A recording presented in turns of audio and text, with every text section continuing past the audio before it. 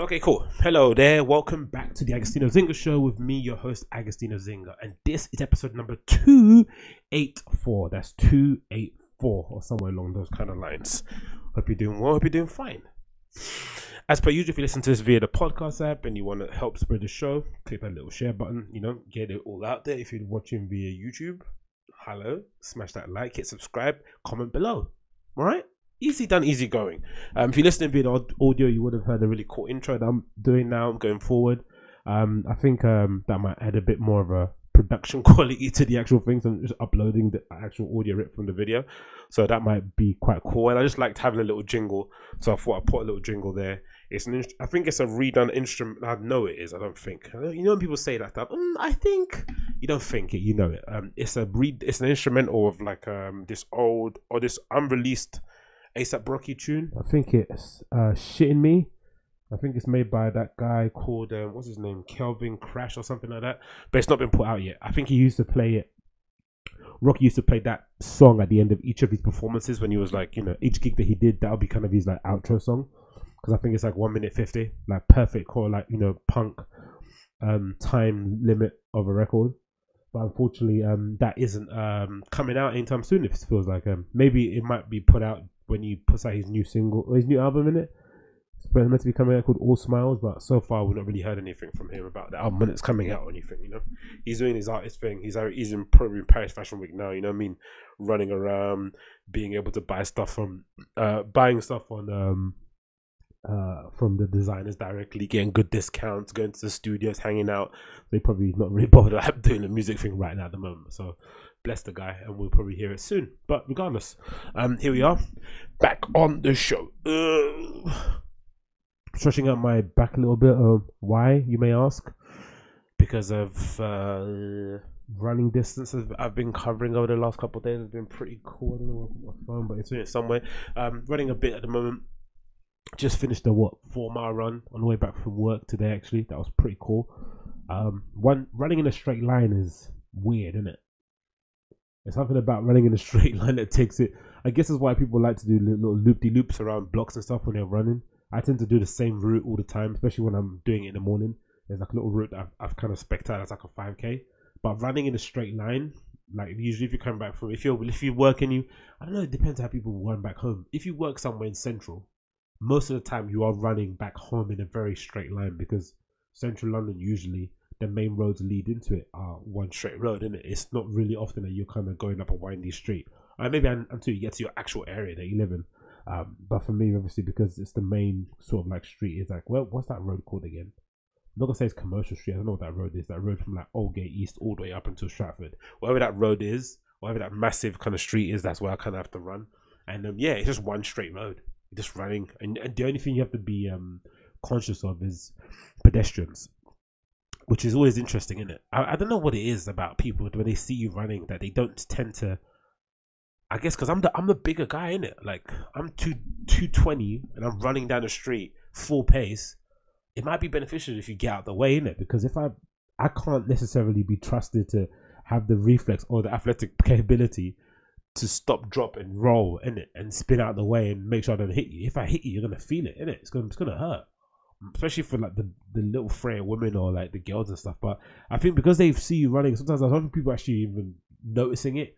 They're just kind of caught in a trance, just kind of staring. They're, they're not really looking at you. They're just sort of like staring into space, and then you end up having to like be the one having to move out of the way. So I'm very conscious of that. So that's why now I try the most thing, the most common thing that I do is I try and run along the right at the edge of the sidewalks next to the where the cars are because people don't tend to run and walk on that side because you know, in case you get run over by a car. So I'm like literally running that bit, but that bit tends to be the most hazardous bit of the street because that's where all the kind of chips are and the pavements are a bit, you know, sticking out of place. So if you stack and buckle your toe in it, you're, you know, I mean, I'm, I've already had a few uh, road injuries due to my inability to see those uh, slabs on the floor. So it's not the most funnest thing, but yeah, pedestrians are hard, man. But again I'm not one of these guys that gets annoyed or starts. Cause I've seen some guys when they run and they bump into pedestrians, the pedestrians don't move out of the way. They do that kind of like you know those angry cyclist stuff, like start swearing and shouting at people in the street and stuff. And I don't really understand that. Number one, because you never know who you're shouting at, right? You just need to be aware that you know you might think you're a hard ass, you might think you're a bad boy, you might think you're good, you might think you're strong, but you know, you never know who you're talking to in it, so just relax. And number two, like with pedestrians in it, really, if anything, I'm more of a nuisance than pedestrians walking. Me running, I'm more of a, a nuisance. Like me running, my big ass running everywhere is actually causing them more stress and harm than actually what they're doing. So I have to be conscious of what how they are feeling in the situation. So I tend to just, you know, give people the benefit of the doubt. It's not all about me. And if I bump into somebody, okay, sorry, just keep moving. What am I gonna do? Shout and scream about what? What are we gonna do? Uh, am I gonna fight a mama four because her pram got in the way of me running?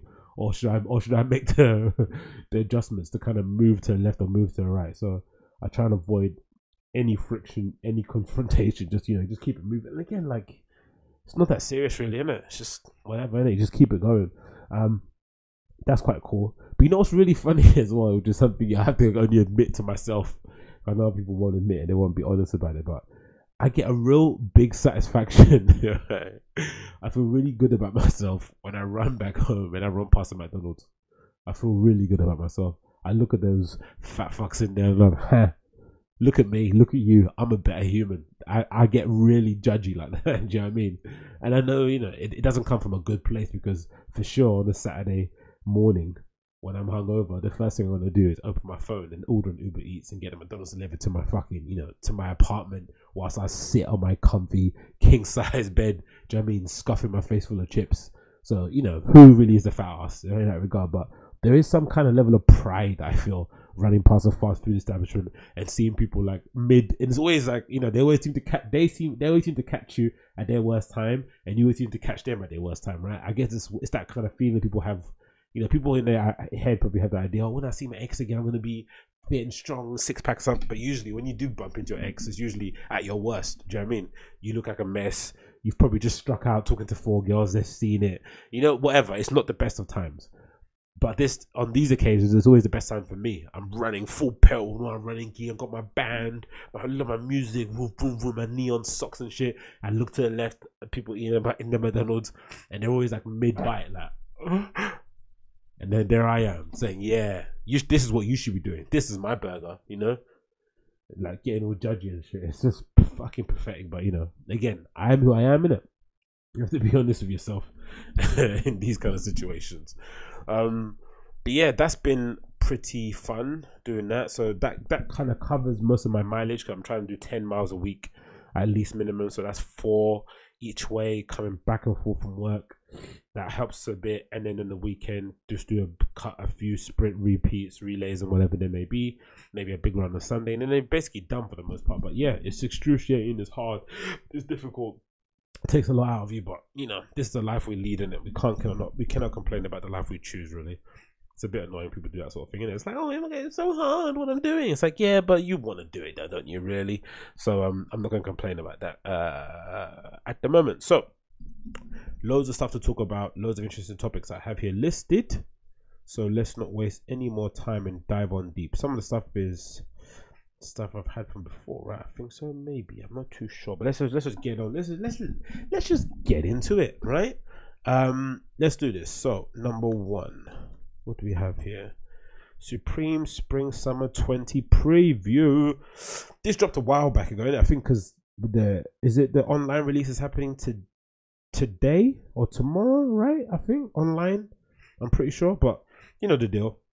Supreme put out their preview the other week. Usually, the preview is followed by the lookbook, and then you get the dates of when stuff is going to drop, so everyone knows when they're going to get their stuff and whatever it may be.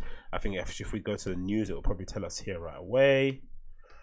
Um, Spring Summer 20, 2020, our Spring Summer collection will be available from February 20th at our New York, LA, SF, London, and Paris stores, and February 22nd in Japan our online sales will reopen. Our online sorry, shop will reopen on February the 27th of tomorrow, and the US and EU, and on 29th in Japan. So you know if you if you're waiting for your Supreme fix, you know when to get it. Um, so preview drops, and per as per, I think it's the common assumption that the spring summer is a bit shit. Most Supreme fans tend to prefer the full winter, and that isn't because of it's not their fault it's mostly because Supreme is catered towards a male audience, right? Male audience between the ages of like 13 and 25, I'd say. And those guys tend to, most dudes especially anyway, doesn't even those young kids tend to prefer coats and jackets. It? How many dudes or guys you know who are into fashion who own like you know 115 coats, but you know only two pairs of trousers. Quite a lot of them, innit? I used to be one of those kind of guys. Outerwear was probably my favorite piece of my wardrobe because I think maybe as a dude, I know I don't speak for myself. I think we are. I think that's why. I think that's why people have such a visceral hatred when they see fashiony, dressed uppy guys because intrinsically, I think dudes don't do fashion well. I think we do style well. I don't think we do fashion well. And I mean like fashion is a capital F, like a like a like this woman. What's her name? Susie Bob Bubble, right? Susie Bubble. Is it Susie Bubble? Susie Buble, Susie Bubble. Let's see if it's the right person I'm thinking about. Susie Bubble, Susie Bubble. Yeah, this is the one. This woman called Suzanne Lau. She's like a she's a is a British journalist and a blogger. She's like a fashion blogger, right? Essentially, she wears like you know crazy fashion blogger street style stuff that you know you should all well know and love, right? So this lady here, I don't think there's a male version of this. Like it doesn't exist, right? This sort of like frolly like patterns everywhere, pattern clashing, layers upon layers, jewelry uh, ornaments, all this sort of like weird kitschy stuff. It's not something that dudes do for the most part. We just do style really well. So I think if you're a guy and you have a brand like Supreme and they make really good outerwear pieces that tend to cover the majority of your body, it kind of is a bit of a cheat, in terms of style because it's very difficult to. although I've seen it done, it's very very difficult to make Supreme or any most mostly male streetweary kind of brand look bad if they if they've got their outerwear on lock and they do the good job with the outerwear. It's very it's very it's very um hard to get those outfits wrong. So I think when it comes to spring summer, for most guys, I think it's a bit more of a challenge about making that thing work right. And again, some of the stuff is still is still really good. I think some of the button ups they do, the t shirts, the long sleeves, the hats and stuff for summer are excellent. Especially the shorts. Look, get that up there. Especially the shorts. Shorts are flipping sick. But I think I think it's probably more of a challenge to wear in general for most guys. I think people tend to like the outfit, but I quite like it. So this is their spring summer 2020 preview.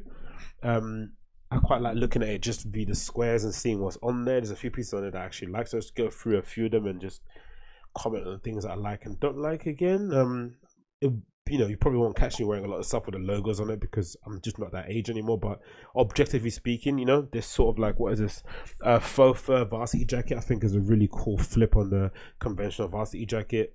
I think here at the bottom they don't have a it's not an elastic waistband either, so that's pretty cool. It's completely made out of this faux faux fur upper, whatever that is. Um, and then you've got the nice little you know chain on here hook on the inside too. That looks really cool. So again, it's not my not my style, not something I would wear nowadays, but I can see why that would be appealing. I'm interested to know why they decided to go for the what's the deal with the script to the front instead of it being on the back. I guess maybe it's just a branding thing, right? You want because everyone's.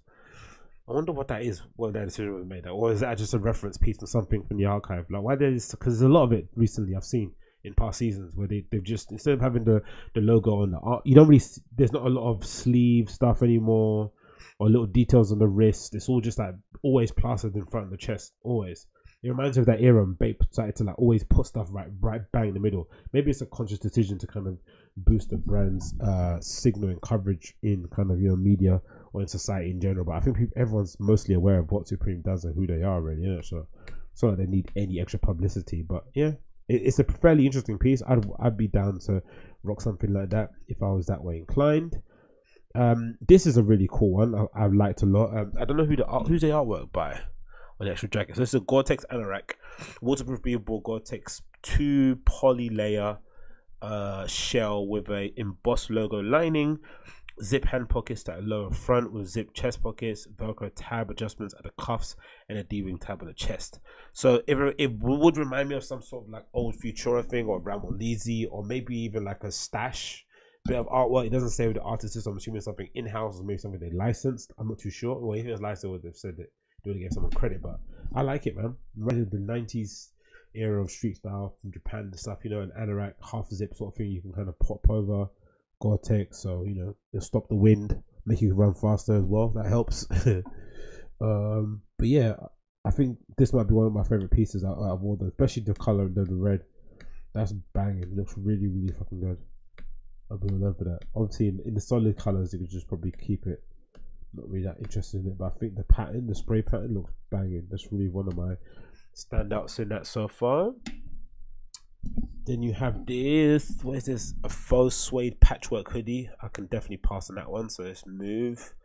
Um, the shirts are always great. You got painted logo shirt. They always they fit pretty well too. I think I had a couple that I sold like Oxfords actually back in the day, and they were really really good. I think they were modeled on like Brooks Brothers cuts of Oxfords and stuff. So they usually have a really good uh, boxy, slim, boxy but slim sort of fit. And um, yeah, again, if you wanna, if you're the kind of person that can't, you know, can't see yourself wearing any other shirt apart from the Supremes, and but you want to get, you know, level up your style and get a bit mature, quote unquote. You know, you, you you're not you want you're not gonna find a bad shirt in these ones from Supreme either. They're a bit overpriced maybe for what they are, but again, it's either you buy this or you buy like something from Uniqlo, and this is probably a bit, a bit special, so it makes complete sense. Um, loads of cool button ups as per usual from them. Oxford, you've got flannels, of course. Oh, you got one with Daniel Johnston um, uh, uh, artwork as well. So, RIP him. That's really nice.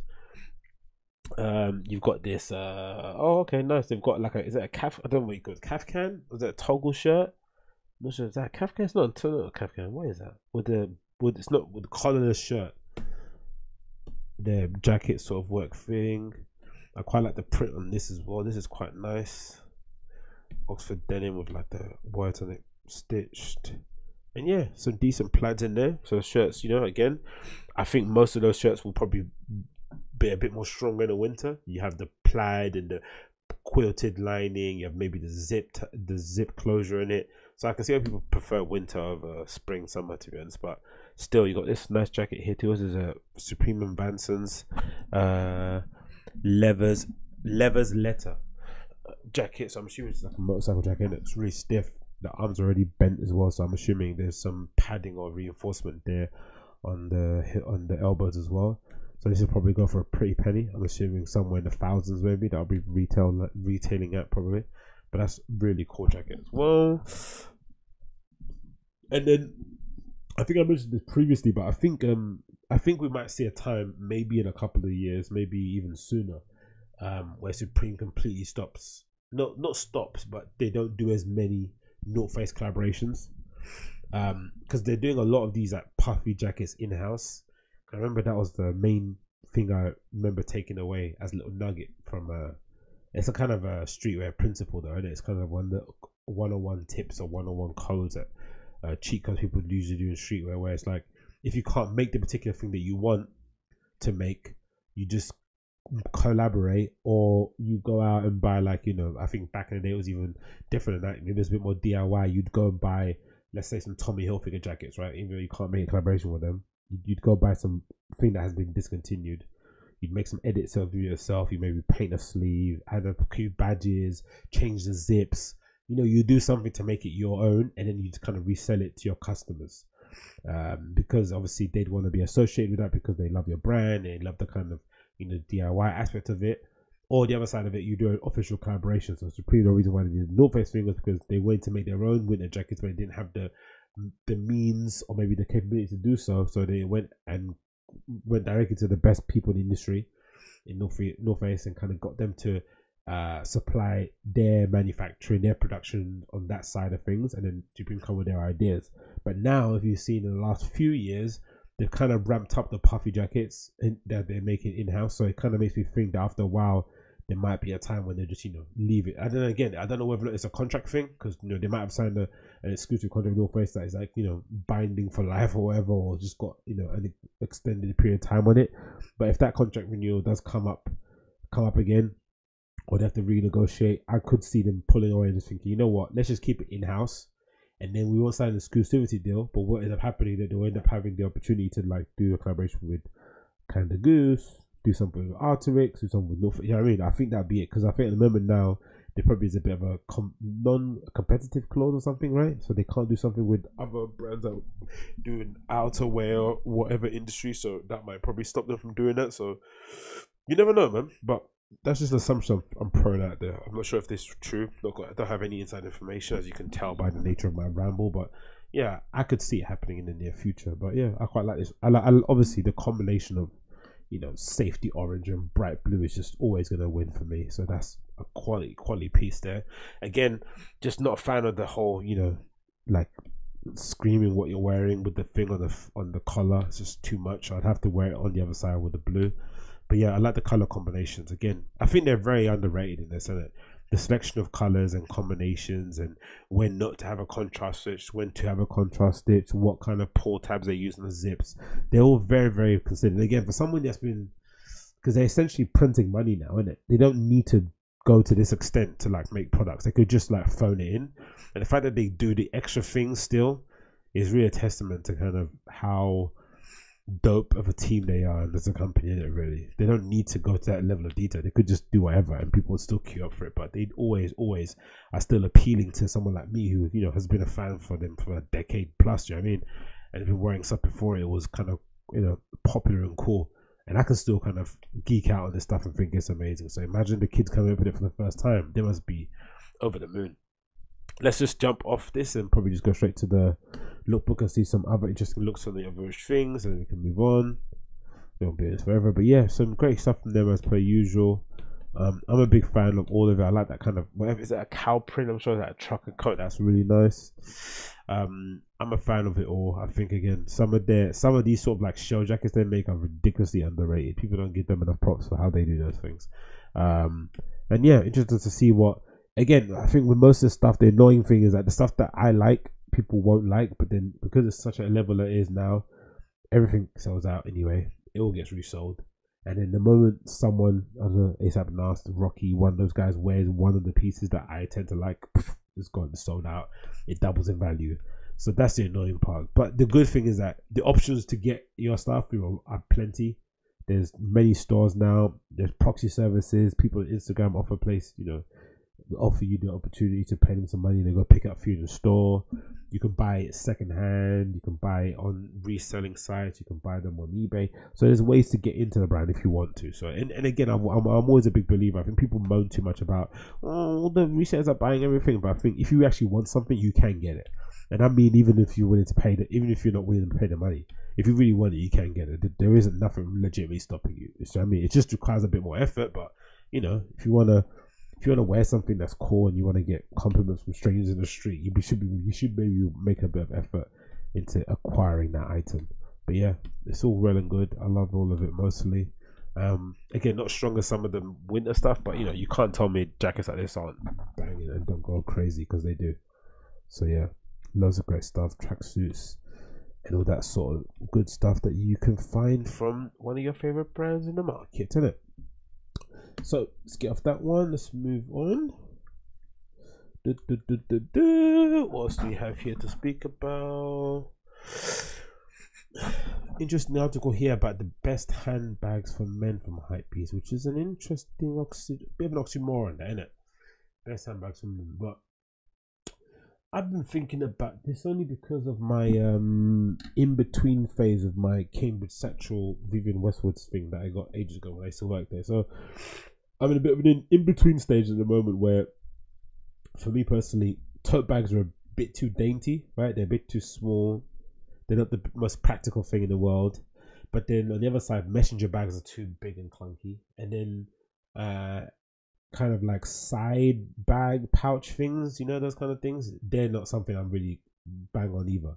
And they're a little bit too small. So you you probably do need something with a bit more, you know, uh, volume uh, capabilities in it. I was thinking of getting that. You know that um, what is it called? Is it a Damier? Not Damier. What that? What's that Louis Vuitton kind of shopping tote thing, right? Because I remember there was a period in time, especially from people like Hiroshi Fujiwara and Andrew Bunney, uh, who used to kind of who got me gassed on the idea of carrying around one of these. Um, I think it was it was probably a Japanese thing, like a staff. I remember Hiroshi did one. He spray painted his on, yeah. So I remember there was a period in time where um, some of the older streetwear dudes, especially some of the Japanese-based guys, were like trying to make this cool. They're trying to make this like a thing. These these uh, this Louis Vuitton tote bag. I'm not sure what the actual name of the actual bag is, but I think it might be. Is it Neverfull? Is that it? Never. Yeah, maybe it's Neverfull because it says the price there. So this one Neverfull from from Louis Vuitton. So I remember he Hiroshi had a, had one, And if I seem to remember correctly, he might have got a custom strap, or maybe he got leather from Louis Vuitton old piece that he had before, and he got them to basically put a strap on the edge to edge of this. So essentially, you had the kind of you know the normal handbag straps here that you hold your hand, and then there was a strap over that you could put on your shoulder or put across your shoulders, which I thought was a pretty clever idea. And I got the thinking behind it because that sort of like handbag baggy thing. If you've ever been sat next to a girl and she's got one of those things on the train, and you quickly peek over, or I don't know, when you glance over when she's sitting, you can tell that there's a she's like you know she essentially fit her whole life into a handbag. You can put water, headphones, books, uh, whatever. It's just it just keeps taking stuff. You know what I mean? Um, it's as a it got probably in the name in it. Never thought, but it never quite took off. Obviously, maybe because you know most people can't afford a legit version of this bag in the first place. But it would never was something that kind of gained the traction. And then obviously the kind of uh, man purse sort of thing came into trend for a bit, but again, it's just not big enough to really carry the things that a guy would need. It's not like we have many things. It's like we have just big things, isn't it? Because I think women have different. Women probably carry many items of like many different items, right? Like lip gloss, this, that, uh, face spray, mist, whatever. The the this whatever. There's always things they're carrying, whereas we just tend to carry big bulky things at the same time. So you need a bag, you can just chuck it all in and forget about it. So I think the handbag resurgent thing in the men's industry makes sense in that regard. Because I think you know again I don't think I'm uh, unique in the idea of wanting a bag that might be able to fit more stuff in than the stuff that I got at the moment. So this is kind of a cool article to kind of expand on and again that Telfar bag is probably a good example of it in it why it's been going so crazy at the moment. Da, da, da, da. there's an article from Hype. Says in recent years accessories have become just as important as the clothes that they adorn. One in particular become a street style must have. The Dior celebrating, with Dior celebrating its uh, archives by reissuing numerous now sought after saddlebags and Virgil Abloh reimagining menswear of Louis Vuitton um, carryalls. Bags have become a fashion week showgoers staple. Whether they're wearing one of Jackie, Jack, Jacquemus's miniature bags or the on the wrist or tapping Tyler the Creator with a vintage Chanel around the neck. Those street style favorites have proved that the man bag has no longer a taboo face. The bag has become a staple for men. It's own right. The idea of a man wearing a bag was until recently uh, laden in stigma, with the exception of a backpack or gym duffel. Items such as the tote bag and fanny packs have been fairly standard for all genders for some time now, but these days handbags are no longer just a women's wear staple. Instead, um, they're stepping out in 2020, which would be quite cool to see more brands doing that. Because again like i said i just think it's a practicality thing. I think that's why that's why i tend to like actually just thinking about it that's think that's why i tend to like uh, going back to the supreme thing i think that's why i tend to like the ones that they make they make these little patch pat bag satchel things that are probably a little bit bigger than duff a little bit smaller than duffel bag but they're a little bit bigger than the messenger bag. And i think that's the kind of perfect size you don't necessarily get from people or from brands nowadays. Maybe because people don't really want them anymore. I don't know, but let's see if I can find it here. Um, view all right. Let's see if this works here. Let me just quickly get this up on a little bit.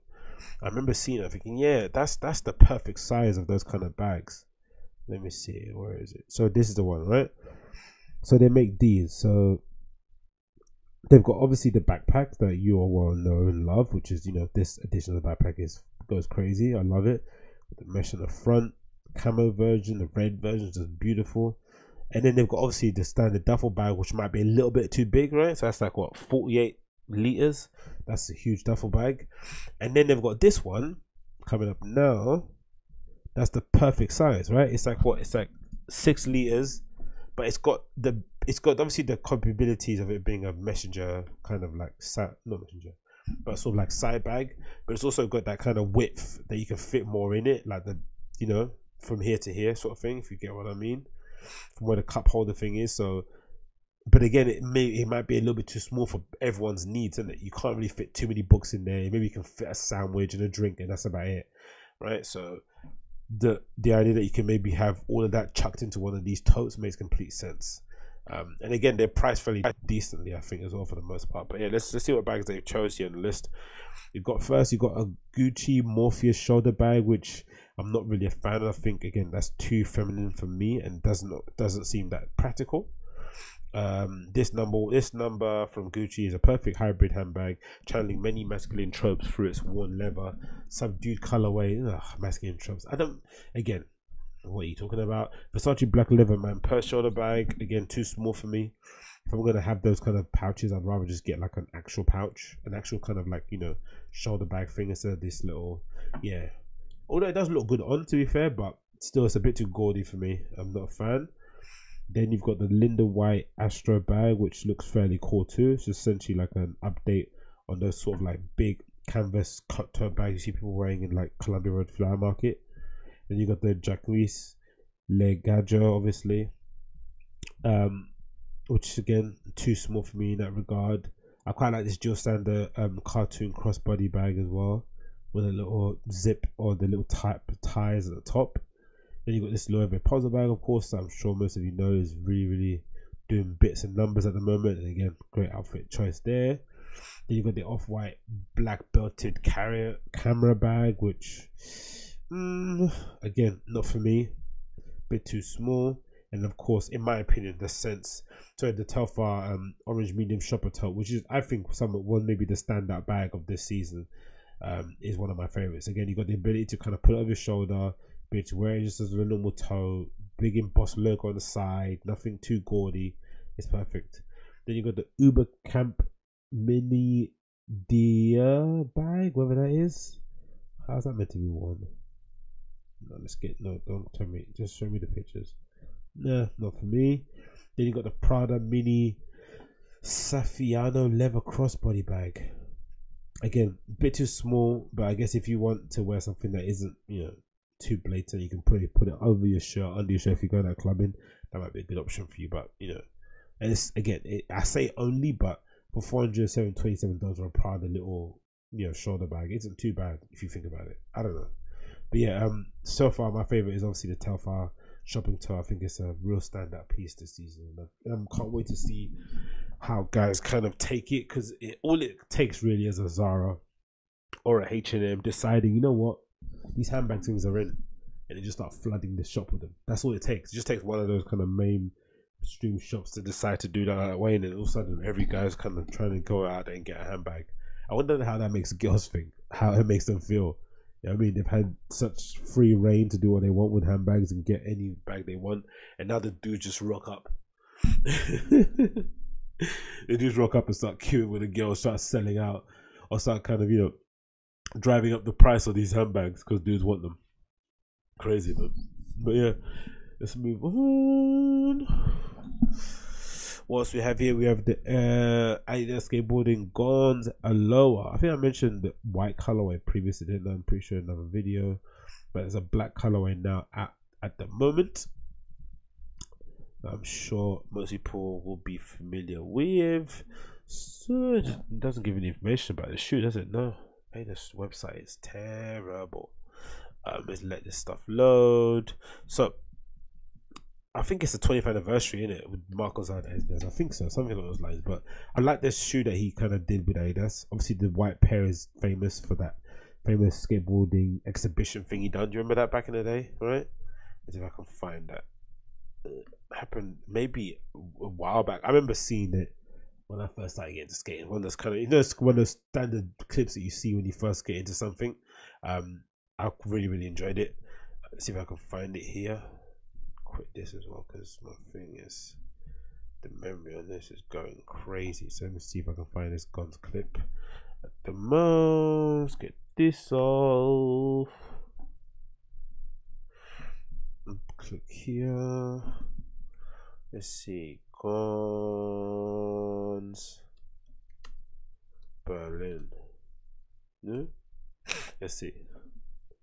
Let's see if I can find it. Uh, oh, there's another one here from a year ago, which is pretty cool. But this is the actual one, isn't it? Right?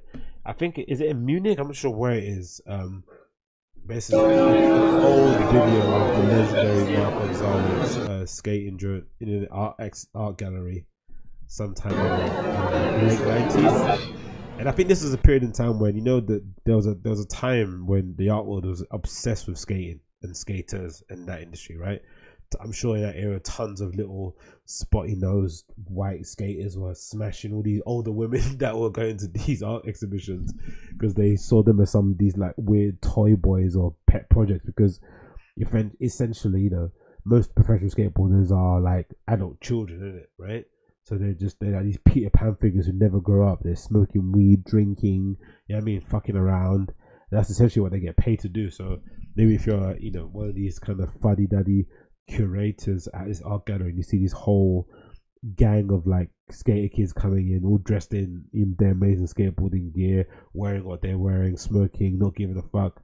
It's gonna be like oh oh my god who's that boy? I mean? So maybe that was part of the issue but I remember that that was a thing for a while. And then it kind of died out a bit and then of course Palace came around you know and everyone started jacking them off. So that kind of added to the law but I remember this video at the time. It was really funny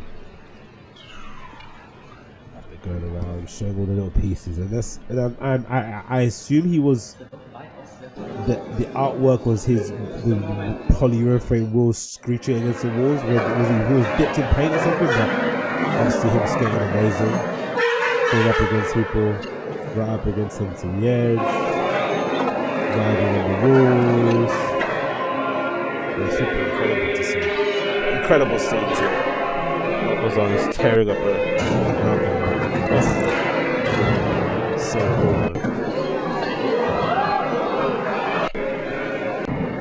And of course, uh, this shoe was retro. Uh, they brought it back again just to kind of give love and show some appreciation. Um, so at the moment, you got the black pair out at the moment, which I think are coming. Are they coming out soon or they're sold out already? Okay, they're meant to be coming out soon. The black Aloha's here.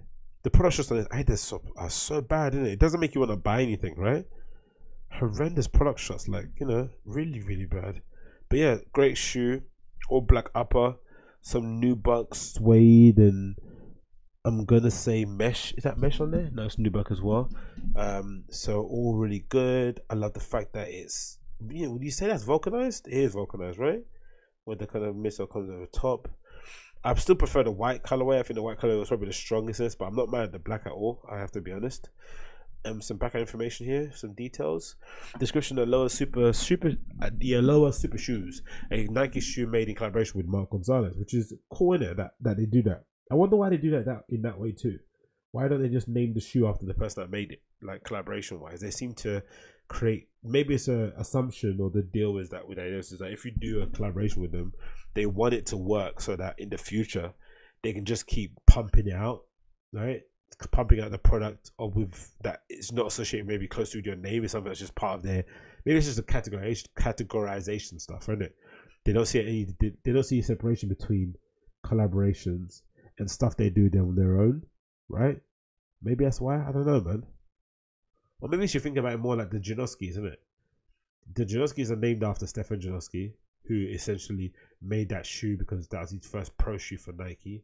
Then it got then obviously he sold his shit majority share back to them, so they own the hundred percent rights to it, so they can just keep pumping out Janoskis even without his approval, and it still be a thing, right? Maybe that's why. I wonder why they don't do just call the Gonz, but it is what it is. Uh, a premium skate, a premium Adidas skateboarding shoe designed by legendary pro skateboard and globally renowned artist Mark Gonzales, inspired by the Wadi Star fencing shoes worn during his historic 1988 performance in the Space Museum in Eiberg, oh sorry, Atterberg, Germany. It's not Munich. These Adidas Aloha supers are super sleek and super functional, with their cut low for full mobility. It's one. It's interesting that they say once if it's a low cut it's for mobility. So your ankle has more options to move around mobily and maybe potentially break. But then when they have a mid boot it's usually about uh, stability right? So that your ankle doesn't move around. But it's like hold on if my ankle isn't moving that means all the tension is going to my knee. So where's the do you know what i mean? It's a very odd thing to say. Mobility comes from a low top stability comes from a high top but they all can cause injuries isn't it so whatever it is what it is. Um, cut low. The the the vintage looking laces and the trefoil thread outsole ensure you ride with style. The description of these, I think that what's worse, these product descriptions or the product descriptions they or the descriptions they put on the um, albums on the iTunes store. Like oh, so if you read them back, it's like what the fuck? Who's you ever write? It's like um, what's that book title about called um, Dancing to Architecture or something, right? Like it's hard to sum up. It's hard to put music into words anyway, let alone trainers. So and not make it sound, you know, just full on cringe. But that aside, the shoe itself is really good. I'm a really big fan of it. They got this weird detail. It's like, yeah, the product code thing. I'm a big fan. Look, that means you can just call up a Adidas store and ask them if you've got the got the got the actual shoe in stock. Because I remember before when I used to try back in the day, we used to try calling radio um, stores to try and get to see if there was stuff in stock, and we had even sometimes you have the product number or was it, or maybe might have been a code for a particular shoe that was coming out, a particular series of shoes that are coming out during that period. So it's hard to nail them one down. Um, just hard to find out. You just have to go to the store and hope somebody behind the desk had had your size that wasn't sold or anything. But yeah, this product code thing I think is a good idea. Throwing up there in the front. But yeah, I'm, I'm a big fan of the shoe. It's meant to be coming out soon as well, so keep an eye on that. Again, the white pair for me is probably my fave. I think that was probably the stronger one of all of them, but I'm not mad at the black either. I think this is the white here, in it, right? The OG white. I think I saw that a long time ago, but I think this this works out far, far, far better. It looks incredible, man. So good. Oh, they still got the white pair available, really? Okay. In my size as well, no? No, it's gone. It's all gone. Don't miss out. What design sold? Okay, cool. To say, bloody yeah, the, the, the white the white Alohas are the best in my opinion. They look amazing. Aloha super shoes. They look so so so good. And again, the product shots. Look at that. What is that guy wearing? It's like a. Is that one of the contestants from fucking Love Island or something? Like, what is that outfit? No socks and cuffed tracksuit pants. Like, Jesus Christ. But yeah, I like the translucent midsole, and you can see the stripes kind of going around it from the outside. I like the fact that all the stripes are only on the outsole and not on the in, not on the outside panel, not on the instep panel. I think that's a pretty cool detail. But the product shots are terrible, really bad, really, really bad. But yeah, check those out. Aloha super shoes probably coming to you very, very soon if you're that way inclined. Um, what else do we have here? We got obviously the Rick Owens and Moncler collaboration that was uh, spoken about and it was announced I think uh, during Milan Fashion Week because that's when uh, Moncler do their genius project thing where they invite essentially loads of different geniuses and brands and uh, designers to come and interpret the Moncler idea or what they think Moncler means to them in their own unique way and I like it because it remind it kind of goes back to the street spirit of collaborations, right? The idea that um, two distant brands maybe operating in different areas, talking to different customers, maybe have a different level of expertise, different levels of specializations, can sometimes collaborate, come together, and and let their worlds kind of cross over and clash. Because imagine some of the people that wear Moncler's you know, and they happen to be tourists. I've never heard who Rick Owens is, right? They wouldn't necessarily see themselves wearing any of the stuff that he puts out on the runway. But then when you get him to kind of do his thing um, in your studio, in your warehouse, it suddenly he's able now to kind of apply his design codes of things you're already doing. You put that in the store, and suddenly you have customers who didn't give that, that designer any love or any interest now going to that brand and kind of connect him. So I think it makes good sense. But obviously with this collaboration, it wasn't part of the Genius project because you know Rick's his own man and beats the sound of his own drum. So he decided to do his own little special collaboration. Of course, Moncler didn't didn't want to say no because I'm sure for them it's a big coup. If if there's one person you want to get involved for your out outerwear sort of stuff, it's gonna be Rick. I mean, he's you know he makes some of the best coats in the industry to be fair. People and many people have tried to copy that style, but you know, it's only one person. Look at that. I think those boots as well are Moncler, no? It's someone I remember from but it's really, really cool. Everything of it so far. This is an article from Vogue that details it. It says Rick Owens Craft, a story about personal, intimate space and a tour bus for Moncler. So it's here at the front. Let's get here at the bottom. It says, uh, what is it saying? Let's go. That's, that's a common phrase they use on his articles, isn't it? World builder. But let's continue. Owens is a world builder, a creator with a self-assured authority that allows any item or idea to be Owens-fied. It's uh, best evidence, of course, his fashion and furniture design, but those are just two of the most readily available products that he makes. Think bigger. Think of Owens' entire life, a place where a Sphinx cat roams a brutalist place, Palace in Man, Paris, where platform disco boots are worn on the metro, where dyeing one's own hair is trans like ritual. Owens' latest endeavor sees the designer offering a whole new way to enter his universe via a tour bus. Owens expresses uh, will be rolling into the Milan Wednesday as part of a collaboration with Moncler that includes ready-to-wear pieces designed for Owens and his wife Michelle Lamy, as well as a custom bus. So Moncler were that desperate to get Rick on board with this project. They gave him. They absolutely imagine the budget that goes into this, man. Like flying these people out, hiring out the van, getting the van kitted out to look like his apartment in Paris, which is insane, right? I've seen pictures of the inside of the van. It's just nuts. that They were able to get that kind of level of detail involved in the van, but they did it. And then, of course, to do the collaborations, like it's just insane. Like they definitely just ripped the budget out. Whatever, gave him a blank checkbook, said, "Write what you want." Do you know what I mean? Um, while the project will launch at the same time as in 2020 Digital Genius project, Owens collaboration is totally separate. I'm not sure I'm really a group person, he says, which I, will. I find really funny. Imagine you get invited to like a group collaboration project and you still want to do your own thing. That's like the height of annoyance, isn't it? For the other people in the room, like looking at us, like, what? What? Does he not think we're cool enough? Yeah, that's exactly what he thinks. He thinks you guys are losers. Um, he says here, he slightly says over the phone from his house in Paris, where just uh, he's just uh, risen from his daily afternoon nap and will continue to head and will soon head to Milan to prepare his presentation. He says, still, when Moncler came calling, Owens chose not to resist. I've I've heard that a lot from a lot of the established people. I'm not sure if it's because of the the fact that a lot of the more established heads who are becoming more socially social media active are going out on media and realizing, oh shit, I'm way behind, right? And they're seeing people, you know, with less talent, less time in the game, all that stuff, really su- surpassing them.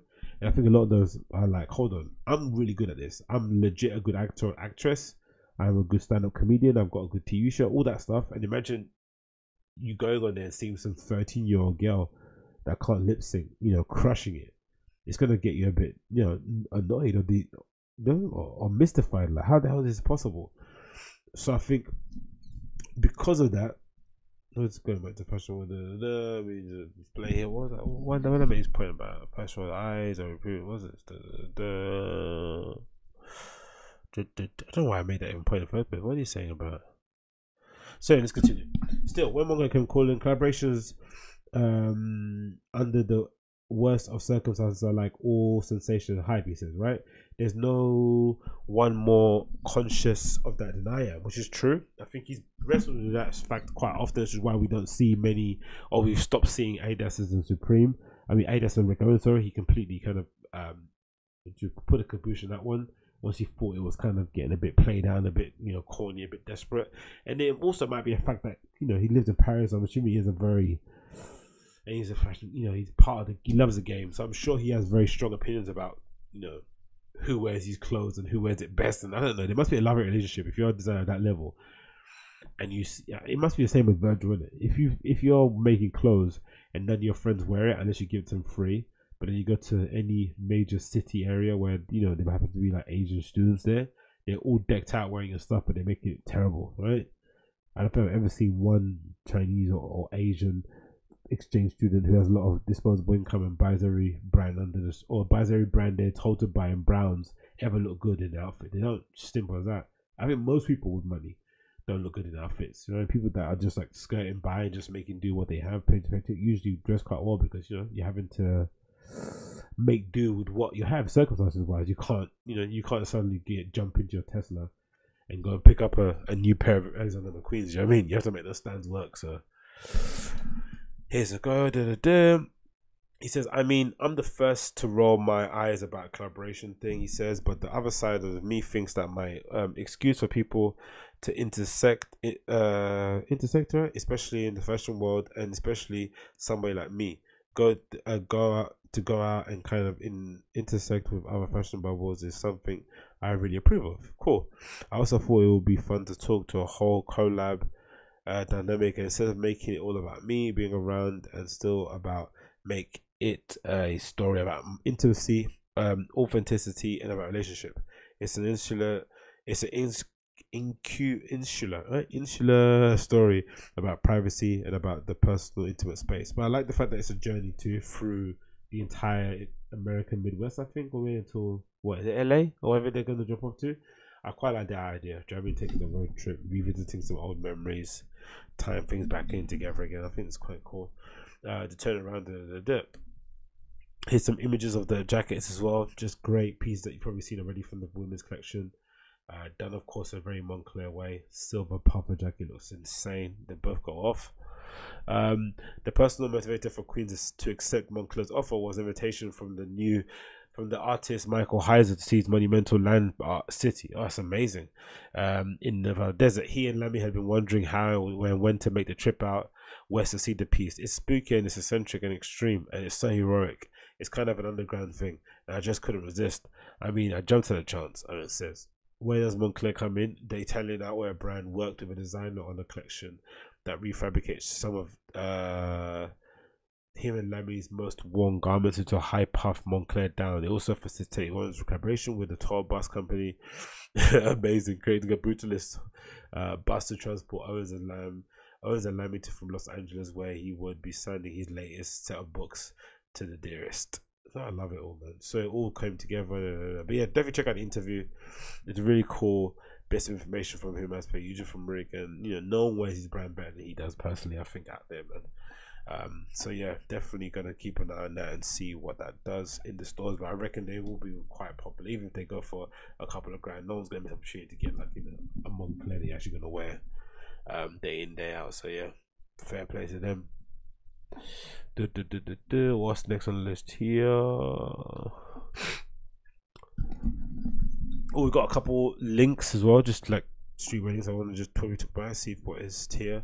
I haven't actually titled these links, so it's going to be a bit of a freestyle on this one. Not that everything else wasn't, but um, yeah. What is this now? Supposedly you can now buy off white and fragment ones at a place called what? One block away. What is that? Italian retailer One Block Away has announced that some of the okay, this is interesting. Let's read this. From highest notoriety. Um, Italian retailer One Block Down has announced some of the best retro Air Jordans released from 2009 to 2010 will be available to buy at retail. Wow, the sneakers included. The customers are required to buy a pair.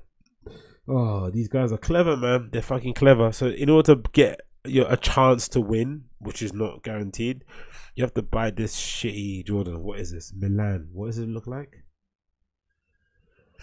Uh, let's see. Yeah, I'll pass. They want you to buy this dead ass, this, this dead shoe, right? shoe that they probably can't get rid of and sell, and then that will enter you into competition for you to, you know, win a set of those. Oh, he's a terrible. He's so bad, man. Wow, he's a shit. No, thank you. No, thank you whatsoever. Nah, not for me. You might have to buy those so you can buy the Jordan you actually want. I guess in some respects, some people would argue that oh, that's a decent investment, right?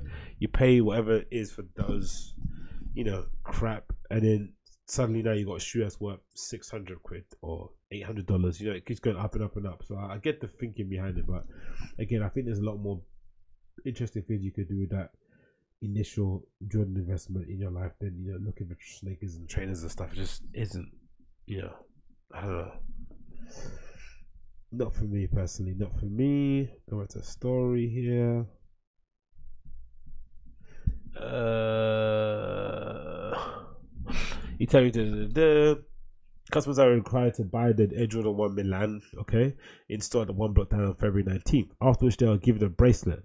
With the bracelet, with the bracelet, they can enter one block down's House of Judgment jumper and the free throw game in exclusive in customer if a customer makes it makes all three throws, they unlock a digital archive and can select one pair from the from uh, to buy retail. Okay, cool. That's right. For everyone was, uh, but yeah, it the, the likelihood. You know, it's kind of reminds me as well. You know, it was kind of um gambling site hustle that a lot of people were pushing on YouTube a while back. I think Logan did one too, like weird gambling thing. Um, Rice of course, did it, but I don't necessarily see like a a thing to get annoyed by really in that regard. But yeah, what do I know about it? But yeah, it's an interesting ploy just to get the media current out there. People talking about the brand a bit, but you know, it's a bit nasty as well. Getting people to buy a shoe they don't want so they can have the shoe that they do want. Wow. That's a hustle. That is a legit hustle. But yeah, not for me personally. Not for me. Let's move on here. Yep. Get that off the screen. What else do we have on our list here to talk about quickly before we head out? Uh, more links. Let's get some other links as well. Let's do some quick streetwear hit links. Let's just go through all of them, bro. All of them. What's this? The Nike to Your School dunks are coming back again. That's that's a. Uh, they're really trying to push this dunk agenda on us, but I don't think the kids care, man. I really don't. I think the, the kids would rather wear a pair of Jordan ones and be seen dead in a pair of dunks, in it. And I remember having them as well. I had is it Syracuse, whatever that color is, like it was a good time. But I don't know if they actually give a shit. But anyway, let's just go through the thing. Nike's iconic Be True to Your Dunks are coming back in 2020. Um, during All Star weekend in Chicago, images of a reportedly forthcoming Syracuse and Kentucky dunks were hitting the web. Cases. Um, Devin Booker was sporting the Syracuse Nike dunks while native uh, Chicagoan Don C posted the same white and orange low tops. Several news sites also reported that Booker shared images of the new white and blue Kentucky lows, which seems fitting for the boy Booker. Sorry for considering he's an alumnus of Kentucky, but yeah, interesting to see how they see this stuff, isn't it? Sneakers is still kind of not really in it. It's digital, but they see it in a very old school approach in it. Like, you know, hey, you might want to check this out, or people spam me with this, and then you get hit with that, and then you're at a club and someone says this. That's it. That is still how those things are getting generated. It's interesting to see that they either they fabricate the numbers, even though they've created this like you know engineered level of scarcity by you know and essentially not making enough people to buy that actually want to buy them. And in general, it's just like a shitty scene, isn't it? is what it is, isn't it? Like it, it kind of attracted some shifty uh, grifter kind of types in there. So I'm not surprised this is basically happening. Um, again, I didn't wish any harm at the time. I didn't know who she is. I don't really care. But you know, you just got to sit this one out. Go on, bit, go on a bit of a social media diet or you know an exit, and then come back the next day. Innit? That's what you have to do, basically. But um, the Nike uh, Nike Dunks. Huh again, I'm not too sure they're gonna make a comeback. I just don't see kids. I just don't know, man. Unless there's a full court tilt press in terms of bringing back that late '90s, early 2000s era. I just don't see it happening nowadays. I just don't know you can engineer it and make it happen and make people care enough. It's got to be organic. It's got to be something like, oh, some of the quote unquote swaggier dudes on Instagram saw the shoe in a random shop somewhere on sale and then bought a few and then started putting them in their fits and all of a sudden everyone's wearing them. You know what I mean? That's that's how it would maybe work. But this all star weekend thing, giving it to all of Kanye's old friends, it's just a bit like oh, really do I need this? I don't know. But again, you know, be true to your score. I think I'd, I'll be interested to see hear what to see actually what the it does when it comes out the packing because I remember first time around they didn't do well. They didn't do too well. I remember still finding a few uh, sitting around or you know quote to quote to full or near enough to the full size run of them, and you know now they have more reference points. They have more better, they better and still they don't really trust them into making that kind of decision. So to each their own and to each their own. But I just don't know if I can get on board that one. I think that's a little bit too manufactured from even for my liking. Cool. So next on list here we have. I think that might be it. You know, yeah, I think that might be it for now. Let's end it there because the rest I can probably do on another show. Hopefully tomorrow. I'll leave that for you now. Um, as per usual, if you're listening via the YouTube app, smash that like button, hit subscribe, leave a comment down below. If you're listening for the podcast app, hit that five star review and share it with your family and friends. As per usual, more information regarding myself, click the link below, agostinhozinga.com, all one word, dot com. And I'll see you guys very, very soon. Take care, be safe. Bye.